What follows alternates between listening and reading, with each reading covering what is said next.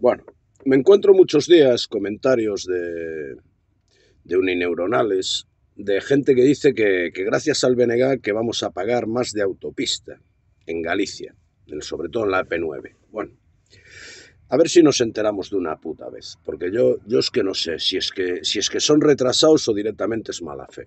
Vamos a ver una cosita. El BNG consiguió una rebaja de un 75% de los peajes, ¿vale? ¿Cuál es el problema? Que el precio de los peajes los pone una empresa privada. Una empresa privada a la que se le dio una concesión. ¿Adivináis quién le dio esa concesión? Efectivamente, los señores del PP.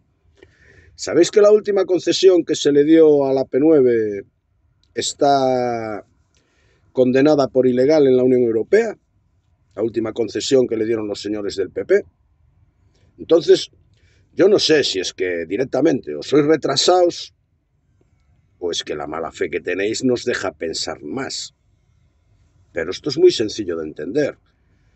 Si el PP no hubiera, no hubiera renovado esa concesión de manera ilegal, no haría falta que el BNG gestionara una rebaja de peajes, porque no habría peajes. Por cierto, ya hace un tiempo, ya hace un tiempo, que la voz de Galicia soltó el globo sonda de que la Asunta tiene pensado cobrar peajes en las autovías de titularidad de la comunidad autónoma.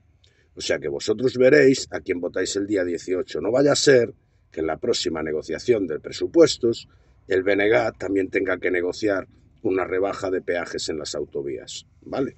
Pues eso.